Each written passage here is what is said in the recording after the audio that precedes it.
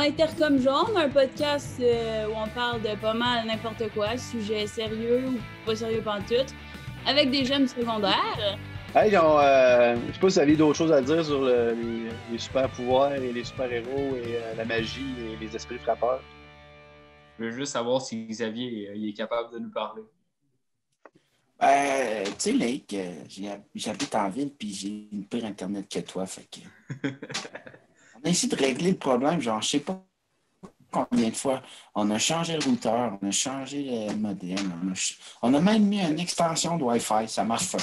Ben, c'est peut-être votre Pour moi, c'est notre maison qui est fuck Non, c'est peut-être que vous êtes trop de monde en même On temps à avec- faire du, du vidéo puis tout aussi. Des On est on trois, trop de monde en même temps. Ah ouais, trois, c'est pas pire quand même. Et, Tu euh, l'Internet de ton ouais. voisin. Ouais. Mais tu sais, je suis sûr, je suis sûr que le voisin à côté, je suis sûr que le voisin à côté, il a une fucking meilleure Internet que nous autres. Essaye de te connecter dessus. Xavier. À la maison, Essaye de te connecter dessus. je peux pas, man. C'est pas son mot de passe. Non, mais essaye de le trouver. Faut... Rentre dans sa maison, fouille dans ses papiers, trouve ça fait un mot de passe. Ou utilise les pouvoirs de. Regarde, je t'engage, mais je te paye pas. Ah, ou utilise mon pouvoir de lire d'un passé, puis. Ben, c'est ça qui est drôle. Si les, les super pouvoirs existaient, il y aurait quelque chose comme le contraire qui existerait aussi. Tu sais. Fait qu'il y a du monde qui aurait comme des super handicaps. Mettons, tu sais. Fait que ça pourrait Oh. être quelqu'un que tout, tout ce qui touche, tout ce qui touche fonctionne pas. Tu sais, genre, son Internet marche pas, il arrive à quelque part, il y a une panne d'électricité, euh, il, il s'achète un genre, il pogne le plus citron de la gang. euh, tu sais, euh, il, il y a quelque chose qui tombe, ça lui tombe sur la tête. Il y a un oiseau qui fait une crotte sur la planète, ça lui tombe sur la tête. Ça, ça existe. Tu sais, c'est sûr que si les super pouvoirs existaient, il y aurait le contraire qui existerait aussi, tu sais. Ah, ça serait tellement drôle. Ouais, c'est pas fou en plus, c'est quand même logique. Là. Et sans pouvoir. il pourrait pas avoir, mettons, deux super pouvoirs. Il pourrait pas, il pourrait pas avoir deux super pouvoirs qui font un enfant ensemble. Il faudrait que ce soit un super pouvoir avec une super handicap. Euh, on a un concept de bande dessinée hallucinant. Là, Hey, on, On on part la bande dessinée de l'Intercom jaune, un produit. Ouais. Ouais. Puis c'est drôle, ça fait un beau lien avec euh, ce qu'on voulait vous parler aussi, euh, euh, parce qu'on est proche un peu de l'univers du jeu vidéo puis tout ça. Là, puis la semaine prochaine, au, Carrefour, on, est, on est super content parce qu'on va, on va recevoir, on va faire une émission live un peu comme ça, mais on va la diffuser live en même temps sur Internet, puis sur Facebook, puis YouTube, puis toutes ces affaires-là. Twitch même, puis ça. Puis on va jaser avec un gars qui vient de la serre, s'appelle Yannick Morel, puis il travaille pour Ubisoft. Tu sais pas si c'est quoi Ubisoft? Comme une super grosse compagnie de jeux vidéo. Puis lui, il est directeur euh, graphique pour Ubisoft. Fait que, il, il- il travaille sur des jeux là, que, qu'après ça, partout sur la planète, il y a du monde qui joue à ces jeux-là. fait que euh, on commence ça la semaine prochaine, ça va être mardi soir. Vous allez pouvoir regarder ça live si vous voulez. Puis euh, la semaine d'après, on va avoir un gars qui, vient de Nord-Métal, s'appelle Jacob Racine. Je sais pas si ça vous dit quoi. C'est un aventurier hallucinant. Là. Tu sais, là, le- genre, le gars, il a traversé le Groenland en ski de fond. Euh, là, bientôt, il, part, là, puis il s'en va, je pense, en Amérique du Sud. Pendant sept mois, sont quatre gars, ils s'en vont en, en autonomie complète, même pas d'Internet, là, pendant sept mois complets. Puis ils vont faire du ski de fond avec des, des traîneaux, puis plein d'affaires de même. Fait qu'on va jaser du métier d'aventurier. Puis la semaine d'après, on va avoir une réalisatrice, une fille qui fait des émissions comme, euh, je me rappelle plus quoi là, exactement, mais des émissions à télé, là, tu sais, euh, que- à TVA ou à Radio-Canada. là. Fait que là, on avait le goût de vous demander à vous autres, tu ça serait quoi les, les- les genres de personnes ou de métiers ou de monde que vous aimeriez qu'on invite à, à ce genre d'épisode-là? Je sais qu'eux autres, ils ont étudié dans quoi, comment ils ont fait de se ramasser là, euh, c'est quoi les, les, qui est le plus le fun, qu'est-ce qui est le plus difficile dans leur job, euh, c'est-tu payant, des affaires de même, là, tu sais? En fait, tu veux savoir qu'est-ce qu'on veut faire dans la vie pour qu'on écoute euh, l'affaire? Ben, euh, tu sais, euh, mettons, mettons que tu dirais, moi, mettons, en beau-mère, le thanatologue, c'est la personne qui prépare les morts, là. Je ferais peut-être pas ça comme job, mais je serais curieux de savoir comment ça se passe, puis comment, où tu étudies pour faire ça, puis tu sais, c'est c'est un peu ça que- qu'on avait le goût de vous, de- de vous poser comme question. Un genre de brainstorming, ça, c'est quoi les métiers que vous trouvez cool, mettons, Ou vous êtes curieux. ou que vous êtes Ouais. curieux? Hey, euh, ça prend de la réflexion, c'est pas long. hein. Ça prend de la réflexion, là. Tu n'es pas une gâteau, toi, là, là. Bon Non, mais- Il n'y a pas des métiers que vous dites, Hey, ça, ça doit, être, ça doit être bizarre de faire ça, ou ça doit être, Ah, hey, j'en ai un, oui. Vas-y. Ça- Sexologue. Ça serait quand même drôle. Ça, ça, ça, ça a l'air drôle- tu d'être sexologue, tu t'es comme dans, au plein milieu de la vie sexuelle des gens, puis t'as comme un contrôle absolu. J'avoue. Ça, ça a l'air. ça- Mais tu sais, on sait, personne ne sait, c'est pas très fréquent comme métier, ça a l'air intéressant de savoir Ouais. comment, comment tu te rends là Ouais. et, et tout. Et tout. Et c'est Ouais. ouais. Ben ouais, c'est intéressant ça. Puis euh, il doit y en avoir du monde dans la BTV qui sont sexologues. J'imagine. Toi, Léa, tu, toi, Léa, tu disais pas que t'en, t'en suivais une à chaque semaine? Oh! Non, je serais même pas gênée de le dire. OK. Ben non, mais en fait, un sexologue, on a tendance à trouver ça bizarre, mais en fait, c'est juste un intervenant qui intervient à propos du sexe. Fait qu'exemple, que tu as eu des expériences pas cool, ben il peut défaire comme un peu tes, Mhm. tes- dans tes expériences comme négatives, puis essayer comme de, de recréer un peu ta, ta sexualité. Pas, Pour que euh, tu sois, tu sois, tu sois bien, tu sais. Oui, c'est ça. C'est vraiment juste d'être bien dans ta sexualité. Puis des fois, il y a des gens qui se posent des questions, puis tout. Fait qu'un sexologue peut répondre facilement à tes questions. Ils vont Ok. se Bon, faire tu des formations dans les écoles, puis la Tout ton consultation. super pouvoir, tout ton super pouvoir, Léa, là, c'est, Léa Wikipédia, ton nom de super, de super héroïne. Parce que c'est hot. On Oh, dit un non. sujet, Flore, que tu nous donnes la définition, c'est malade. Ouais, hey, mais- on va se faire faire un costume avec un W, là. Léa Wikipédia. J'aimerais ça le porter quand que je vais aller voir la tireuse de cartes. Ah oui, vas-y. OK, sinon, quel autre Ah, métier? j'ai Oui, il y a- une Ah oui! On vient de faire un- du lien entre nos deux, entre nos deux sujets, là, c'est fort. Euh, Eh oui, une tireuse de cartes, mais ils vont-tu vouloir? Ils vont-tu avoir la peur de se faire juger? Ou... Mais non, on, va le dire. On y croit pas, mais on aimerait ça. Je suis sûr qu'il y en a une qui va accepter. Ben oui. Ah oui. Ben On ça- deux, là, Ça serait mais- fun d'avoir, ça serait fun d'avoir Jojo Savard, là, tu sais. C'est qui elle? Tu sais pas c'est qui Jojo Savard? C'est là qu'on voit que je suis vieux. Tu sais, moi, je me rappelle de Jojo Savard, là, genre en 1990, là, c'est une madame dans la TV qui, par- qui faisait des, des, euh, des séances de, de, de lis- de lisage de cartes, mais à la TV, là, genre. Ou euh, l'horoscope, je sais ces affaires-là, je sais pas trop. Anyway, euh, c'est, ok, c'est, c'est une bonne idée, ça. Léa, prends ça en note. On va, on essayer de trouver une carte ancienne. Très cool. Sinon, je me disais, tu sais, la personne qui. Tu sais, des biscuits soda, ça vous sait quoi, ça? Ouais. Sais, la personne qui fait. Ça. Tu sais, la personne qui fait les trous sur le dessus avec un cure-dent, ça doit être Il tough, ça, pareil. ben oui. C'est bien Ah ça. non, mais à, à journée longue, là, puis euh, j'aimerais ça savoir, t'en fais combien dans une journée des biscuits, puis tout ça? Ben ça oui. C'est sûr que c'est sûr que c'est fait ça? à main, hein? C'est sûr que c'est fait à main. T'as-tu t'as-tu le droit d'en manger pendant que tu travailles? Euh, Il est payé en biscuits soda, c'est ça l'affaire. T'es-tu capable de siffler? T'es-tu capable de siffler le soir quand t'arrives chez vous? Ça fait de même, là? Hein, pourquoi je comprends pas? Ben, t'essaieras ça, tu manges, 10 tu mets 10 biscuits soda dans la bouche, tu manges, t'essaies de siffler, tu vois, c'est c'est un beau défi. Ah, le pire, t'arrêtes pas de siffler, Xavier. Tu pourrais vraiment essayer. Je pourrais. Mais je Ah, moi, Eh, va va en chercher, on va le dix- faire. Ouais, mais 10, Ouais, t'en as-tu? Ben, 8. T'en as-tu, Xavier, des biscuits? Ben, je dois avoir des biscuits, là. Je sais pas si Ah ouais, va. Vas-y, vas-y. Ah non. Oui, pourquoi- Vas-y, let's go. Go, Ah, let's ouais. go. Ah ouais, ah ouais. go, go! Ouais. Ah, on ouais. On, on évolue dans notre émission. On va, on va tester la capacité de Mr. F de manger des biscuits soda et de. Ok, Ah ouais, vas-y. Ah, ça aller va chercher ça ça, parce ça- que c'est c'est en haut, fait que ça va prendre un petit peu de temps. Ça va va peut-être être ça ce super temps. On va meubler. On va trouver d'autres euh, professionnels. Euh, moi, j'en- je viens d'en trouver un bon, là. Oui, vas-y. Un, un branleur de dindon. Euh, je viens de chercher sur Internet top 5 des métiers hors du commun, là, puis c'est le dernier de la gang, là, puis ça me fait vraiment rire. Lui, lui, il a peut-être besoin d'un sexologue, tu sais, à la fin de la semaine. Là, euh, changer d'idée. Probablement. Ouais, ouais, ouais, ouais. Ou quelqu'un qui travaille dans un abattoir, ça va être tough aussi, ça. Ah ouais. Hein? Ça Ta, prend ta, ta- tu sais, ta- ta journée complète, tu, tu tues 3000 poulets, je sais pas, là, ça va. Ouf, ça va être tough. Ouais, c'est sûr. Mais faut pas que t'aies. ben, J'allais pas... j'allais dire faut pas que t'aies le cœur, c'est pas vraiment ça, mais faut pas que t'aies le cœur sensible. là. Faut pas que tu aies un cœur de poulet, en tout cas. Non, mais c'est ça. Il y a des métiers comme euh, quand même qui sont, euh, qui sont étranges. Puis il y a des métiers qui sont comme plus euh, wow, là, mettons. Mais tu sais.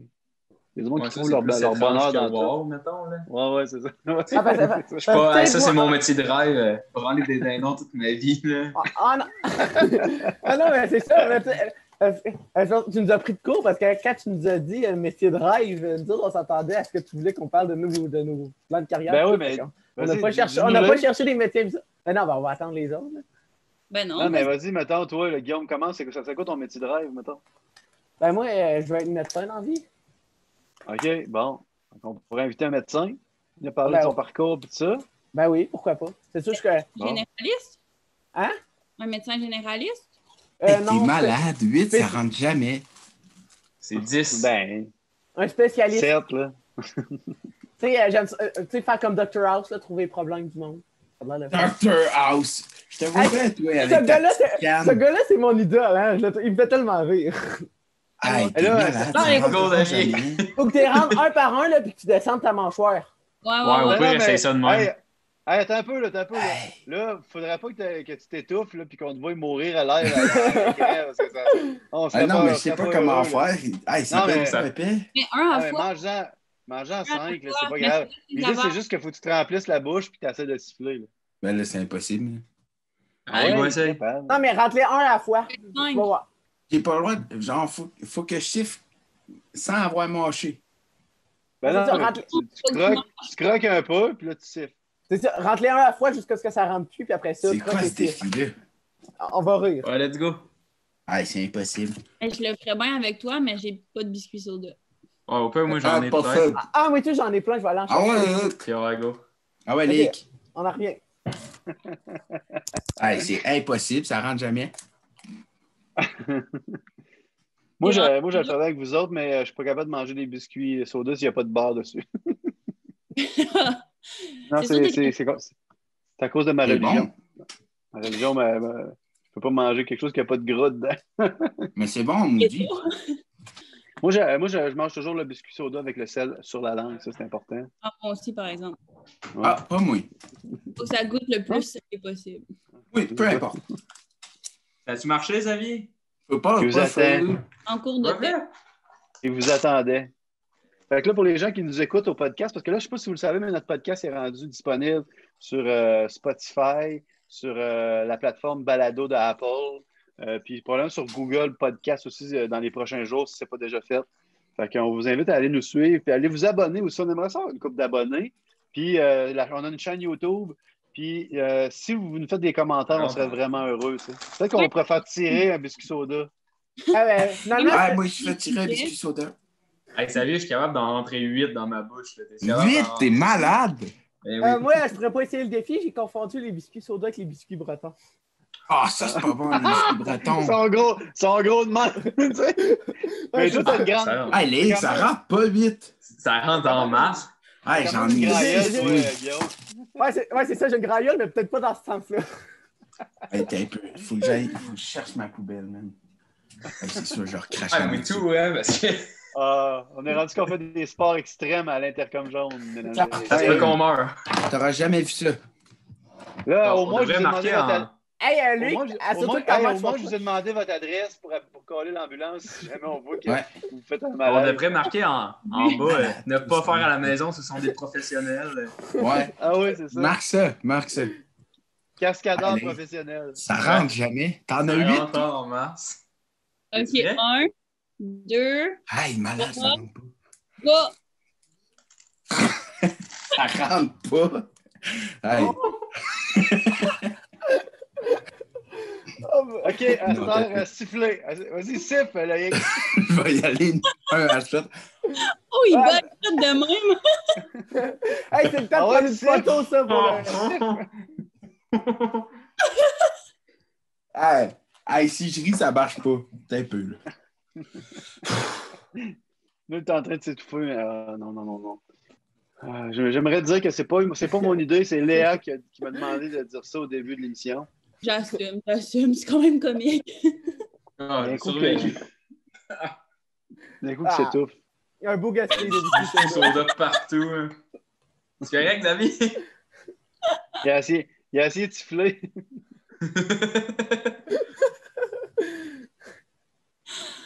Oh, Est-ce qu'on l'entend? Est-ce qu'on est-ce qu'on l'entend, non? Restez donc. On l'entend manger. Non, Ça sent pas.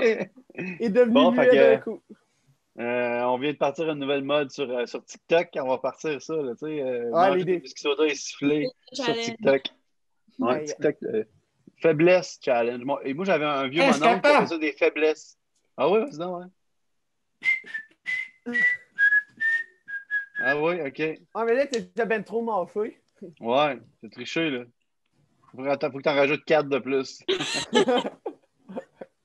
Comment? Hey, euh, merci. Hey, mais tout euh, ça avec 5. C'est malade. Merci pour, euh, merci pour le- la, la cascade, les gars. Euh, Sinon, là, mettons, on revient à notre sujet là, sur euh, qui qu'on pourrait inviter. là. Avez-vous d'autres idées, mettons? Des siffleurs professionnels. Ah, ça existe, hein? Existe-tu? peut-être. Oui. Hein, dans des orchestres symphoniques. Ben oui. Tu penses? Ben oui. Ou, le- juste le gars, qui- le gars qui joue du triangle. Le gars qui joue du triangle dans l'orchestre symphonique. Ah, non, mais hey, on rit tous, cool. hein?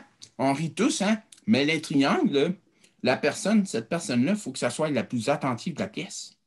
Parce qu'elle a une place à jouer, puis si elle se manque, c'est fini. Elle peut pas se La reprendre. carrière est out. Faut pas qu'elle se plante. Fait que c'est la personne la plus importante. Ah ouais, c'est elle la plus Après le chef importante. d'orchestre. OK. Ben, pas la plus importante, mais celle-là qui a le plus gros rôle. Oh boy, OK, tant que ça. Je l'avais jamais vu comme ça. C'est pas elle qui a le plus gros rôle, Xavier. Non, là. Si elle se plante, personne ne va le savoir sauf elle. C'est elle le qui a- chef c'est elle qui a d'orchestre, le rôle le plus difficile parce qu'elle n'a pas de place pour s'en rejoindre. Il faut qu'elle s'aille Ouais, c'est plus ça, c'est plus difficile. difficile. là. Ouais, puis c'est difficile aussi parce qu'elle se fait intimider par les autres membres de l'orchestre qui d'elle. C'est ça. Après ça, il y a les trompettistes qui tombent en deuxième rang à la Polino. Là. OK. OK. On se fait martyriser, nous autres aussi. Ouais, en tout cas. On se fait Nous autres, on- manque une note, on se fait tirer des chaussures. Hein, fait que... Eh boy, mais quand même. pire que les trompettistes, c'est les basses. Les basses sont vraiment martyrisés, eux autres. Il Êtes-vous n'y a tous- personne, Ah. Xavier. Euh, Guillaume. Ben, ben, c'est ça, ben, les, les deux personnes qu'il y a, on est vraiment martyrisés. C'est toujours de notre faute. Oh, Ah. c'est toujours la faute à moi puis Xavier. Ouais. Mais C'est qu'est-ce jamais que tu faute, Guillaume. Êtes-vous tous en musique vent? Oui, madame. Hmm. Il y a juste Amélia qui n'est pas en musique. Hmm. Ariane aussi? Ouais, Ariane ajoute de la flûte. Wow. Ariane, c'est une en tout cas. En, en tout cas. De la, de la flûte traversière ou de la flûte de, de pain? De la flûte à bec? De la flûte Flûte avec. traversière. Ça, j'ai jamais La compris c'était flûte quoi le concept. Bécosse. Non, mais une flûte de pain, j'ai jamais, euh, une flûte de traversière, j'ai jamais compris le concept. C'est comme tu as fait. tu, tu, tu, tu, tu. C'est c'est bizarre, ça. C'est vraiment compliqué. Ouais, c'est parlais dur. quand. Quand C'est le seul instrument que je défendre. suis pas capable d'apprendre et que je veux pas apprendre. Bon, tu vois. Est-ce que vous apportez vos instruments à la maison? Ouais, ils sont Oui, j'ai ma trompette à côté de moi. Est-ce que vous pourriez nous faire un intro un moment donné pour l'incarnation? Hey, pourquoi pas? On va se mettre, on va composer, là. J'ai ma trompette. On demandera à Kathleen. Ça serait cool. Ouais. Ah, Xavier, on Euh, va composer ça, ça va être vraiment ma magnifique. Oh, yeah, cool. Parce qu'ils sont chez vous parce qu'ils vous appartiennent. C'est des trompettes que vous avez achetées. Ça, c'est la mienne. Moi, c'est, moi, c'est une de l'école que j'ai emmenée à la maison pour le temps des fêtes, puis on n'a pas eu de cours de musique en vrai. Ah. OK. OK. Sinon, je Là, vous recommencez les cours en- à l'école cette semaine? Ben, on est une journée sur Ouais. deux, là. OK, OK. Et ça va Je suis tanné de traîner mon. Ben, c'est, ouais, c'est, Ah oui, pas mal ça l'affaire. c'est que c'est. Ah oui, OK. Ça fait gros Vous n'avez pas le droit d'aller à vos cases, mettons? C'est ça? Oui. Ben mais oui, mais quand on a nos cours en ligne, il faut traîner notre stock à la maison. Ah oui, OK, c'est vrai.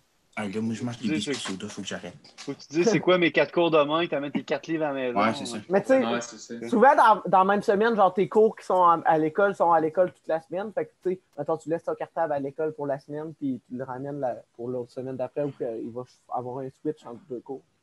OK. OK. En tout cas, là, je sais pas, là, euh, à un moment donné, ça va recommencer normalement. Eh C'est c'est un petit bout à t'offrir. là. Ah, On a vu avec notre prof de maths que la courbe euh, de la BTB avait pas mal baissé. Là. Ouais, Mhm. Je pense qu'il reste juste 9 cas actifs, là, une affaire comme ça. Ouais, Non, genre. ça en monte à neuf cas actifs, 90 en- non, ou en 100. Abitibi-Ouest, c'est neuf cas actifs. Ah, OK, OK, OK. Non, mais on est rendu au nombre de cas au, au nouveau nombre de cas par jour, on est rendu au niveau genre, genre, genre zone jaune. C'était compliqué. Zone. C'est difficile, donc? Ouais, c'est Euh, difficile. Intercom, intercom zone. Ouais, l'intercom zone. C'est difficile à dire, ça. Bon, ben, on va vous laisser aller faire vos devoirs. D'abord, les, les petits gars, vu que, tu sais, vu que, tu sais, vous êtes, vous êtes- si vous êtes des gars sérieux, il faut que vous fassiez des devoirs, des affaires de même, hein? Ben, bien. Quoi, on est sérieux, nous autres? Ben oui, vous êtes, euh, je pense que vous êtes comme des, des nerds, vous autres, non? Des, euh, des, des Ben, tronches? Guillaume, oui. là, mais- bon, bon, bon. Nous autres, On va un peu moins. mettons, geeks. Ils se vont me faire écœurer. Mais là, Guillaume, s'il veut, il veut être médecin, là, il a d'affaire à avoir des méchantes bonnes notes là, aussi. là. Ouais, vous autres, vous n'avez pas parlé de votre, euh, votre métier de rêve, hein? vous ne ne l'avez pas dit. Moi, je vais être concierge. Ah, cool. C'est Non, important, ça. Ouais. Ben, C'est Hey, important, euh, concierge. Il veut Hey. pas être concierge. être concierge. Non, il veut pas être concierge. Non, lui pas, t'es lui. Concierge. Moi, je sais qu'il veut pas. Il dit, ça- il dit de la merde parce que c'est ça. C'est pas un métier de merde, le métier de concierge, là, mais il nous a dit qu'est-ce qu'il veut faire dans la vie. C'est que là, il arrête pas de dire. qu'il Ah ouais, dis-le, toi. Dis-nous-le, toi. Qu'est-ce qu'il veut faire dans la vie, lui? Il va être prof Ouais. de musique. Ah, bon. Ben, ça fait du sens, ça. C'est parce que je réussirai pas, fait que je vais être concierge. Eh oui, tu vas réussir. Tu réussirais Ben, pas. ça... Je pense que c'est- c'est bon d'avoir un plan B. Oh! Pourquoi tu réussirais Surtout que- pas? Ouais. Je suis pas bon. T'es excellent, là-dedans. De toute façon, un prof de musique, ça n'a pas besoin de savoir jouer de la musique, ça. Ben oui. C'est vrai. Ah oui, ok. Il plein, ça pas joué, va jouer de la musique. y en a qui disent qu'ils savent, mais tu sais, C'est ça. C'est ça, là, mais Ok, tu sais, c'est favorable de savoir. ok. Puis toi, euh, Loïc, c'est que ça fait quoi ton métier de rêve? Pas trop encore. euh, Ah non, ok. Non. L'année prochain. prochaine, tu t'en vas au cégep, là. Science de la nature. OK. Ça, je peux tout faire après. Ben oui, ça te laisse même deux ans pour y penser. Ouais, c'est ça. C'est pas pire. Avez-vous fait vos inscriptions au cégep l'année prochaine? C'est-tu en janvier qu'il faut faire ça, me semble? hein? Ouais, c'est fait. Ouais, c'est Ok. fait aussi. Vous allez où, là? Puis toi, musique. C'est ça? Quoi? Vous êtes quasiment tous en sciences nat? Ouais. Non, pas moi. Ouais, c'est ça. Sauf toi qui vas en musique? Non. ouais. Ben moi, j'ai- je vais aussi appliquer. Bon, Non, ben oui, je vais en musique. Je vais en double deck musique, sans cinéma. OK. Ok. moi, j'ai aussi appliqué un baccalauréat international en sciences de la santé à Garneau. Là. Pas.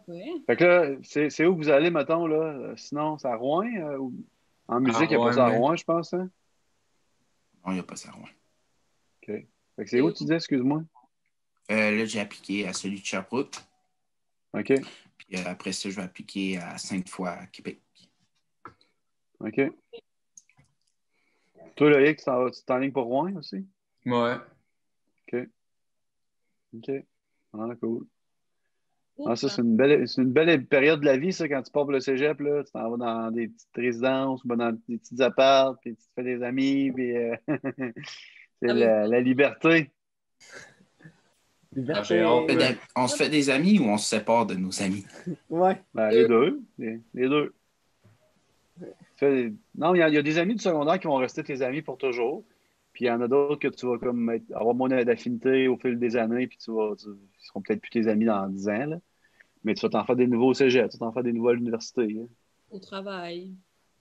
Mhm. Ça apprend toujours à connaître du nouveau monde. Bon, ben, hey, merci tout le monde. C'est Ouais, bon. merci, c'était cool.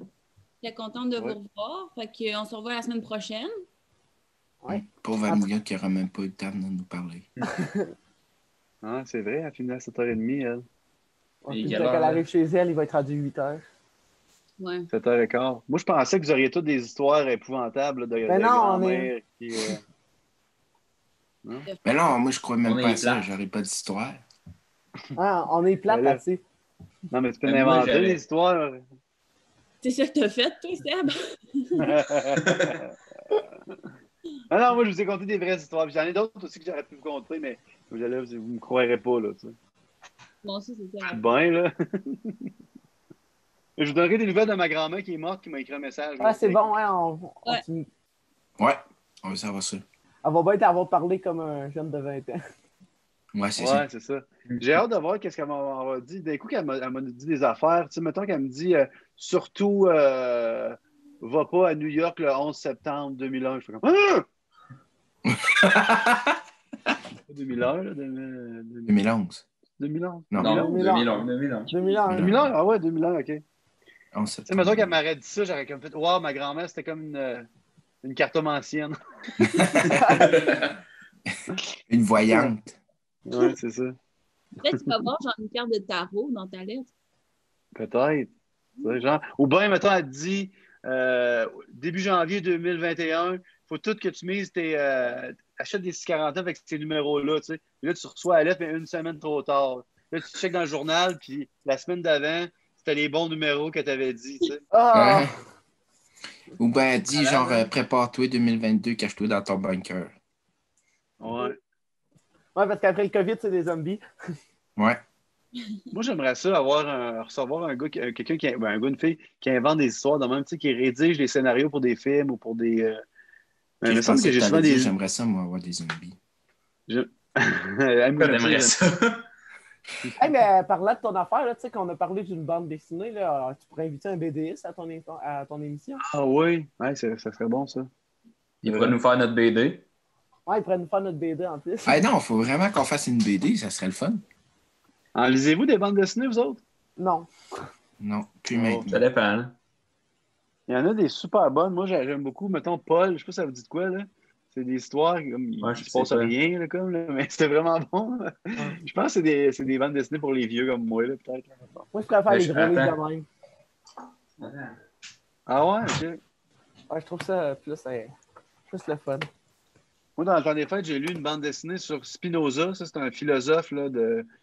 Hey, c'est ça, Paul à la maison. Hey. ça. Tu l'as-tu lu? Non, je pense que c'est mon père qui le lit.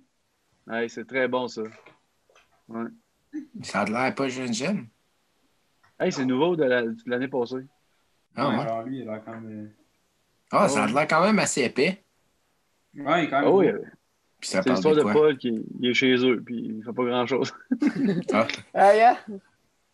Mais c'est intéressant, là, lui, c'est c'est vraiment, c'est Rebagli- Ré- Rebagliati, le, le, le BDiste. Puis euh, c'est un gars qui a commencé. Son père, il travaillait dans une imprimerie, puis il faisait des, euh, des, des espèces de petits. euh, je sais pas comment on appelle ça, là, mais de la typographie. Là, tu sais, il faisait comme des lettres sur des petits carreaux de métal. Puis avec ça, il imprimait des journaux, mettons, ou des livres, des choses comme ça. Puis euh, fait que c'était un typographe ou quelque chose comme ça.